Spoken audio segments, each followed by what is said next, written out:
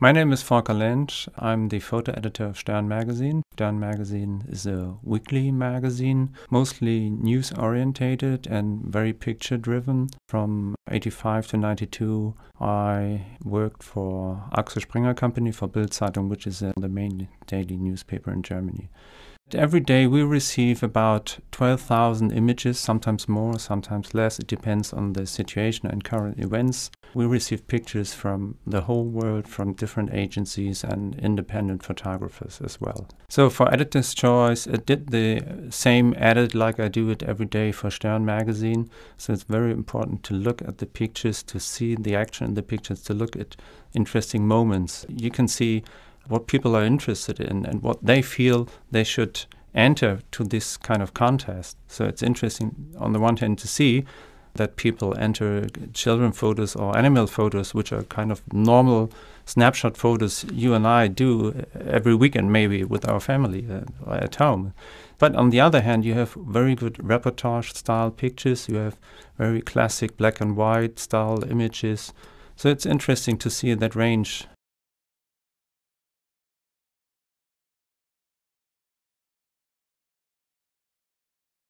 The first picture, which is from Vincent Prevost from France, that's a guy who jumped from a high, it's not a kind of building, actually, I don't know how to describe it. It's a ritual on an island, and the people kind of bungee jumping, but without a real bungee, so they have to jump down, and you can look into this guy's face. He's kind of praying and looking down, and it's fantastic to look at his face.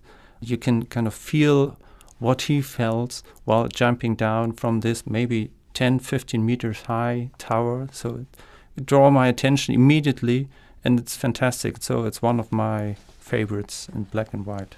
The next pictures I picked are done by Robert Eliasson from Sweden. It looks for me like he shot the, the two pictures on Cuba. It's an old man who is walking in the street and carrying a bass. I think it's acoustic. The house he's kind of passing is blue and his he's wearing a red shirt and this is a very colorful picture on the one hand. It's a very personal bass he's carrying, and maybe he's up to go to a concert. This is again, it's a picture which kind of starts the imagination if you look at it. It's nicely done because of the different colors. It's almost blue, the picture is almost blue, and you have the guy with the red shirt and the bass.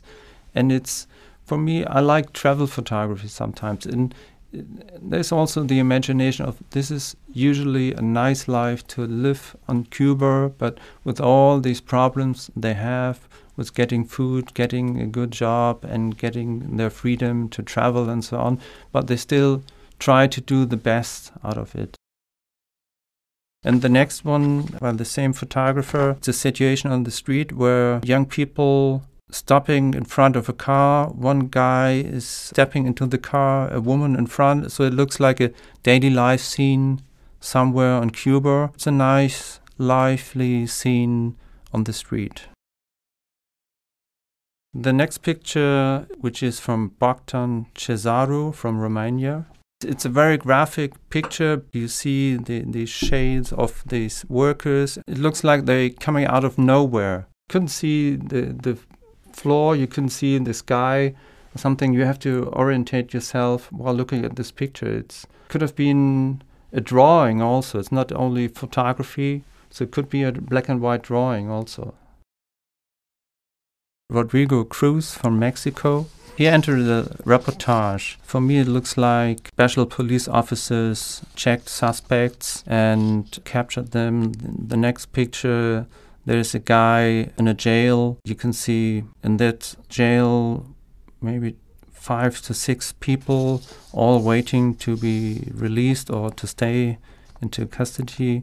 And it's the atmosphere. The first picture, the, um, the suspect sits at the ground in front of a car, and two masked policemen looking at him. Uh, point, one is pointing with a mag light on him, checking for details. He sits on the ground, like exhausted. Maybe he was. They ran after him, and he's exhausted. So it's a very special atmosphere in this picture. And the other picture, which I liked from the same photographer, Rodrigo Cruz, a shot of police officers building a line out somewhere outside. I don't know where this happened. Maybe waiting for a demonstration or paying attention to something. But it's, it's the look of this picture. The people and the police officers are masked with gas masks, and they have their shields in front of them. So it's uh, the power of these police officers which is in these pictures. You can look at the faces a little bit. You can see the eyes from the guy in the middle, the left and the right. You can't see, there's a reflection and the mask. So it's very strange and a bit dangerous. The next image is by Bozar Ivanovic from the USA.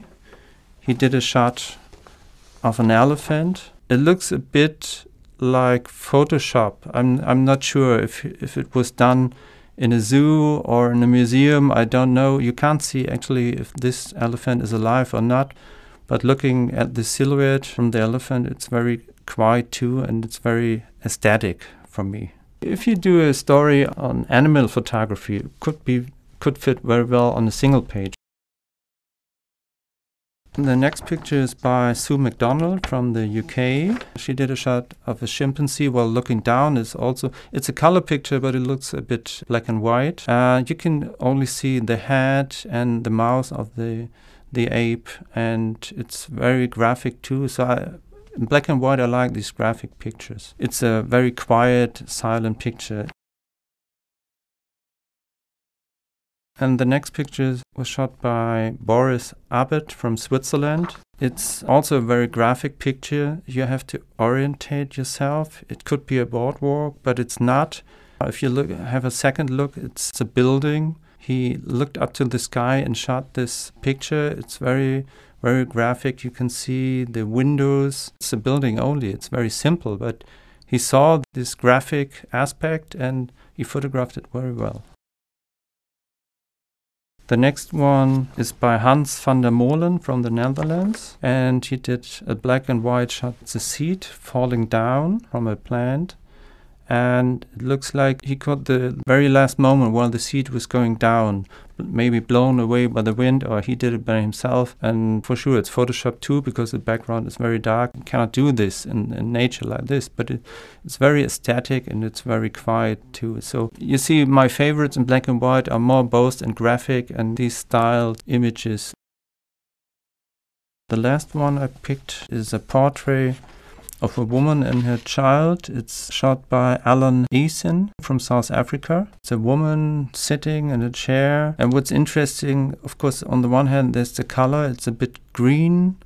It's light, uh, maybe because of an open window or open door. But it, what's interesting, there's a painting and maybe an oil painting or acrylic painting in the background. It looks so strange if you imagine this woman is sitting in Africa with no food or less food, and you see this painting and the wall at the wall, so it's an interesting portrait. This could very well fit in a reportage about daily life in a certain village in Africa as well. So I like the atmosphere, I like the lighting in this picture. It's very nice.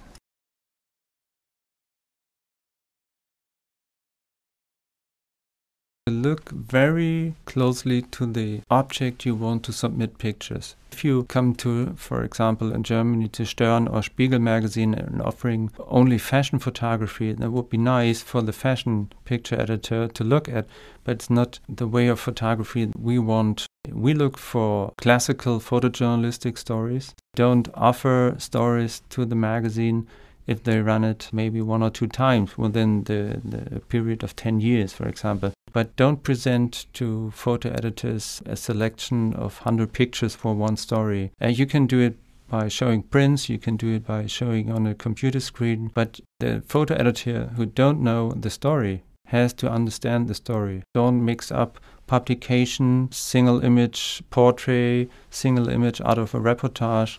Put it in a clear order. Reportage, portrait section and then maybe a few of publi- a few publications. Not every photographer has the money, the time, or the possibility to travel to every editorial office. So the, the good way would be to present the story idea as a PDF, put in a selection of 10, 15 pictures, put in a general text and don't forget to put caption to every picture. I started the, the job in 1985, so it's quite a long time. And this is one of my hobbies on the one hand, and it's my profession. Every day is kind of a new day because you listen to the news, you look at the computer, see what had happened, and for me, that's very, very interesting.